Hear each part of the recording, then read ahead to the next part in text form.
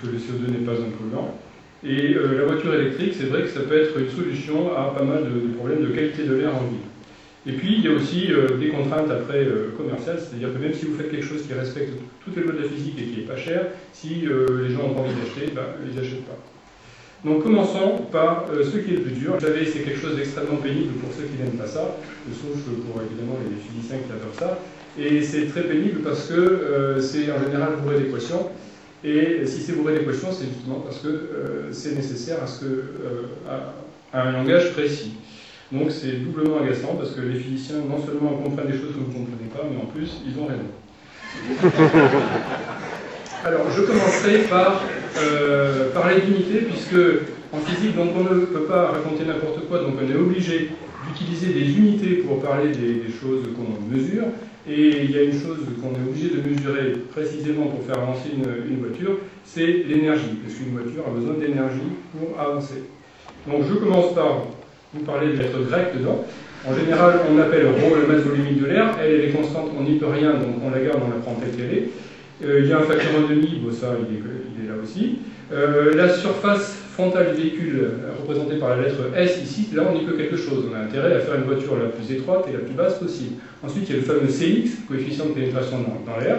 C'est-à-dire qu'on a plus intérêt à rouler dans un suppositoire que dans une boîte à chaussures. Et puis, alors, le facteur très embêtant, c'est que la résistance de l'air est proportionnelle non pas à la vitesse, mais au carré de la vitesse. Autrement dit, si vous multipliez la vitesse par 2, vous multipliez la résistance de l'air par 4.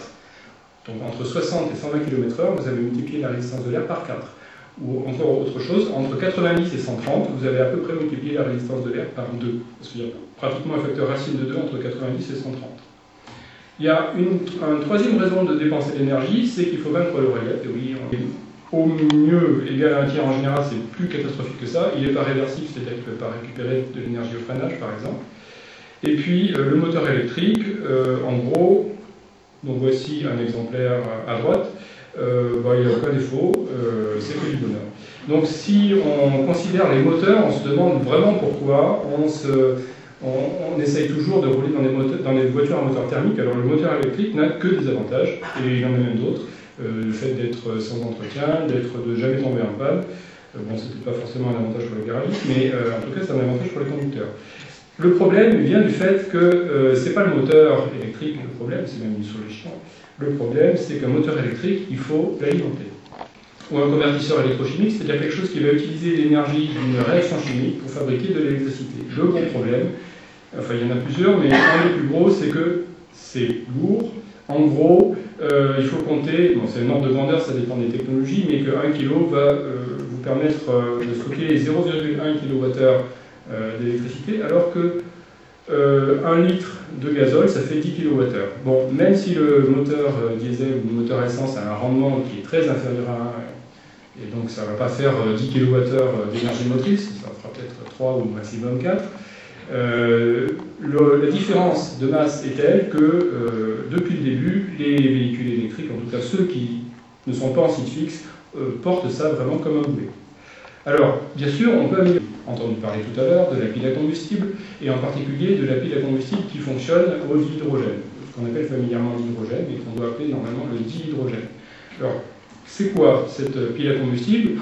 Finalement, le principe de fonctionnement est exactement le même que celui d'une batterie classique, c'est-à-dire que c'est un convertisseur électrochimique. On a une réaction chimique qui se fait, qui produit de l'électricité. La différence, c'est qu'avec une batterie ordinaire, vous avez les produits les réactifs à l'intérieur de la batterie et les produits de la réaction restent aussi à l'intérieur de la batterie, alors que dans une pile à combustible, vous amenez les produits réactifs euh, à partir de réservoirs et vous rejetez les produits de la réaction. Alors dans les montées, vu que le prix de revient de la bête est autour du million de dollars. Euh, alors, les gros inconvénients de la pile à combustible, c'est quand même, bien sûr, le coût. Conférence, donc dans manager chez Continental, en charge de véhicules électriques, évidemment. ESC 96, très bonne école. Euh, Master Management de Super pas mal non plus. Et euh, CPA 2008 pour couronner tout, ça c'est quasiment parfait. Euh, tu as travaillé pendant 8 ans loin d'ici, Melbourne, Londres, Madrid. toujours, enfin souvent dans des grands groupes, Siemens, Thales. et tu as intégré Siemens, qui est maintenant Continental en 2004. Et tu as toujours été passionné à la fois côté professionnel et côté personnel par tout ce dont on parle aujourd'hui. Euh, les véhicules hybrides, les électrique, plein de choses qu'on va mieux comprendre en se couchant ce soir. Et tu es membre de la SIA, Société des ingénieurs d'automobile, et tu es membre du bureau des anciens du CPA Grand Sud-Ouest. Merci Joël. Bonjour à tous. Je suis euh, à la fois honoré et heureux de voir euh, une telle taille de l'Assemblée. On n'attendait pas ça au début. Et puis plus euh, le projet est avancé, et puis on s'est dit, bah, il y a vraiment quelque chose à faire. Et là, donc, je me suis rapproché de mon président, Jean-Marc Nozeran, en lui disant, ben voilà, pourquoi ne pas essayer de lancer cette dynamique transrégionale, Midi-Pyrénées, Aquitaine, et on s'est rapproché du pôle Aerospace Valley. Et j'espère qu'aujourd'hui, ce sera le, début de quelque chose euh, que tous les acteurs de, la filière, système embarqué dans le domaine du véhicule électrique, vont pouvoir porter. Je suis très heureux parce que on a ici, euh, comme le disait Joël, le, cœur de mes intérêts euh, professionnels, mais aussi personnels, ayant moi-même une petite fibre écologique. Euh, très heureux parce que aussi c'est un point culminant de cette formation CPA pour laquelle j'ai eu beaucoup de, plaisir et d'épanouissement personnel. Donc nous avons fait euh, plusieurs travaux pédagogiques. Celui-ci n'en est pas un, il pourrait en être un, mais celui-ci n'en est pas un. Et notamment, Alain l'a mentionné, un rapport collectif que nous avons débriefé euh, deux heures avant sur l'état de la filière en Chine du véhicule électrique. Certains nous diront, pourquoi regarder en Chine? Somme toute, euh, en Europe, on est pas mal. Je pense qu'au CPA, on apprend que la stratégie, ça passe aussi par la veille, la veille de son environnement. Et je pense qu'on va le voir ce soir, pas de façon directe, mais peut-être de façon indirecte, que la Chine a certainement un rôle à jouer. Et on a utilisé ou on utilisera le, terme de stratégie de rupture. Et je crois qu'il y a des questions à se poser. Alors, euh, en, réfléchissant comment j'allais l'introduire, je, me suis dit, tiens, je vais utiliser une vidéo. Donc j'aurais pu utiliser une vidéo euh, très futuriste. Quel est le véhicule électrique futur, 2015, 2020, etc. Je me suis dit, ça serait trop facile parce que ça serait la, la continuité de ce qui va nous être dit ce soir.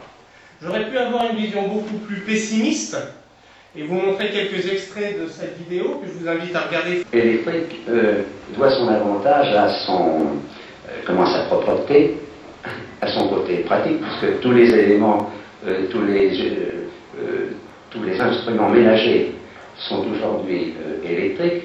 Une voiture peut être considérée comme également un, instrument ménager. C'est une voiture électrique, et, comme on peut le supposer, une voiture de petit gabarit, car je crois qu'on n'a pas envisagé de faire d'énormes véhicules. Euh, Pascal Duclos sera à la, table ronde, et aussi Innovec, euh, pour lesquels vous pouvez voir un certain nombre de produits dans, le hall d'exposition. La présentation de Jérôme Perrin, que nous attendons de Renault, je n'ai pas de ses nouvelles, j'espère qu'il n'est pas venu en voiture électrique, euh, doit nous présenter quelles sont les nouvelles gammes et les nouvelles proposition en termes de produits de Renault à hauteur 2011-2012. Déjà, en 1962, date de la vidéo, les spécifications, les caractéristiques du véhicule électrique étaient connues, étudiées, réfléchies. Si nombreux, euh, souvent je me dis, euh, je ne devrais pas faire des remises de diplôme, mais parler de photovoltaïque de, véhicules électriques. Je, vois un nombre grandissant de dirigeants d'entreprise présents, donc je suis ravi que ce thème sollicite euh, votre présence. Euh, merci euh, d'abord au mythe fondateur, je suis toujours soucieux du mythe fondateur, de donner à César ce qui lui appartient. Donc je remercie Thomas Soulier de cette initiative du véhicule électrique et surtout des PME, PMI et des sponsors de cette opération qui ont, j'allais dire, été les sous. Depuis, depuis un an maintenant, mars. Vous êtes directrice d'Aerospace Valley, qui est le pôle aéronautique, espace et système embarqué, Midi-Pyrénées-Aquitaine. On a à peu tout dit pour n'oublier personne. Euh, labellisé pôle mondial depuis 2005. Et c'est aujourd'hui une structure qui regroupe environ 500 adhérents dans 7 collèges euh, qui mixent, comme les pôles le demandent, recherche, formation, industrie, grands groupes, petites structures. Euh, et donc avec un, volet système embarqué qu'on oublie souvent, euh, mm. même dans la JVL. Et, et c'est ce qui justifie votre présence aujourd'hui parce qu'on verra tout au long de la soirée qu'il y a des connexions entre les deux. Mm. Et c'est un petit peu le, rôle qu'on va vous demander de jouer ce soir, de nous montrer ce- ces connexions-là. Merci. Merci et merci de l'honneur qui m'a fait de vous donner quelques mots d'introduction. Alors Aerospace Valley est bien évidemment euh, très intéressé à, à la démarche qui se lance aujourd'hui, donc à plusieurs égards. D'abord, euh, je, répète, parce que c'est un périmètre que nous ne cessons de défendre, et François est, souvent euh, le, digne représentant de, cette défense, parce qu'on a souvent tendance à considérer que, vu Paris, Aerospace Valley, c'est l'aéronautique, et chaque fois on dit non, non, c'est espace et système embarqué. Et on a bien raison de le faire pour plein de- pour de- d'objectifs. Alors, d'abord, euh, on, a, euh, enfin, moi je fais actuellement le tour euh, des acteurs financiers, et je dois vous dire que aussi bien les fonds, les banques, etc., pour essayer euh, d'accompagner le développement euh, que nous essayons de, mettre en œuvre grâce à Aerospace Valley, et pour l'accompagner aussi de manière financière. Et le retour des financiers, c'est de dire oui, l'aéronautique, bon, c'est pas très simple, c'est long, c'est cher, etc. Mais alors les systèmes embarqués, alors là, oui, on bien regarder. Donc je vous dis, voilà, c'est un message d'espoir. Hein, il y a vraiment une, attraction tout à fait importante de la part de tous les partenaires financiers sur le système embarqué. Donc après, on leur explique, bien évidemment, les systèmes embarqués sont présents dans tous les, secteurs de, notre périmètre. Bon, alors effectivement, ils s'aperçoivent que c'est c'est tout à fait euh, important. C'est tout à fait important, et le pôle est tout à fait euh, intéressé à, s'associer à cette, démarche. Euh, et on est très heureux de pouvoir accompagner le défi que vous lancez aujourd'hui. Voilà, vais vous dire en mot d'introduction?